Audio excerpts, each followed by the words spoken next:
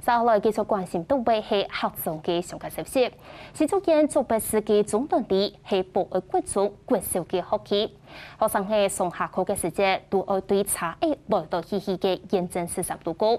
比如問學生嘅行動安全，新年前期時蔡天健同民意代表一道加拜同市政府建議，堅持愛去上下課嘅普通，一下銀行鋪頭已經做好位，變做做白事頭幾條上下課鋪頭。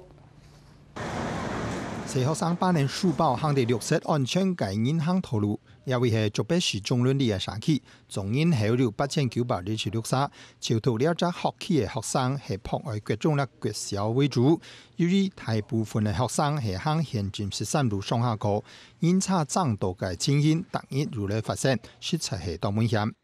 加上这一栋有七栋大楼，大概有一千多户，然后主要是通往博爱国中跟博爱国小。就是小孩子要在车缝中走来走去，跟人车争道。为了保护学生上下課路一般人融入嘅安全，中崙林居民到明日代表四年前开始，到竹北市公所提出通学葡萄规划，然后在去年召開第二擺嘅說明會，爭取总规划工程三百四十万嘅经费补助。老年內嘅插頭路徑，必發一共拆解銀行專用途，从光明六路到復興路位置，全长有三百公尺。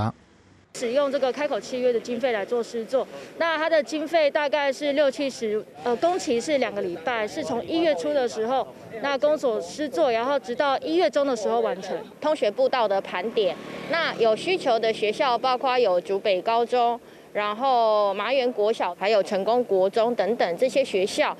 設置通學鋪頭，除了得到學校了家长反應良好之外，